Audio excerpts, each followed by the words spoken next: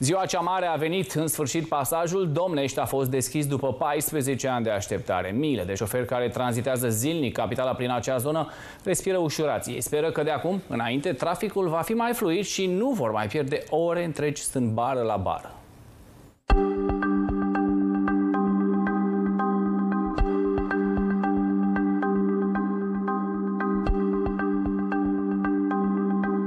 De-a lungul ultimilor 14 ani, lucrările la pasajul din Domnești s-au împotmolit de nenumărate ori. După o mulțime de blocaje, contracte reziliate și proiecte modificate, lucrarea a fost finalizată și deschisă astăzi. Dăm în trafic uh, pasajul pe partea superioară.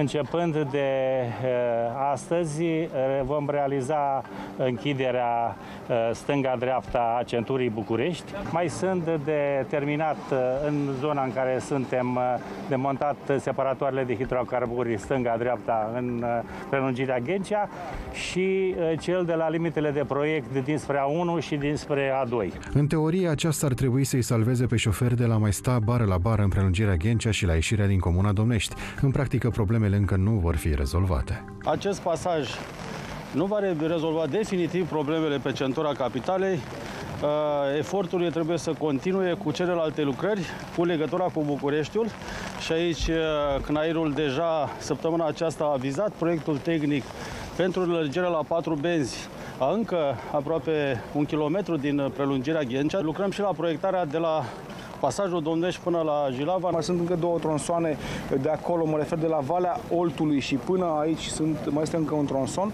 și de la Valea Oltului până la Brașov încă un tronson de care trebuie să se apuce. Se face rapid tronsonul 1, ne-am putea ocupa și tronsonul 2, adică de la Brașov până la Valea Oltului, dar dacă se implică financiar și primăria capitalei. Sunt dispuși ca sectorul 6 să ajute. Șoferii care trec zilnic prin această zonă, fie că merg la serviciu, fie că tranzitează capitala, sunt cei mai fericiți că, după lungi așteptări, pasajul s-a deschis așteptat de mulți ani. Sunteți în zona aceasta? Traversați? Da, locuiesc în Domnești, da, în fiecare zi. Și acum credeți că o să fie mai ușor?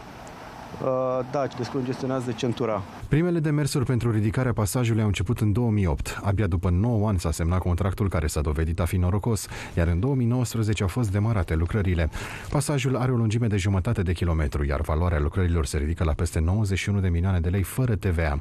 Podul a fost dat în folosință mai devreme de termenul limită stabilit la 15 noiembrie.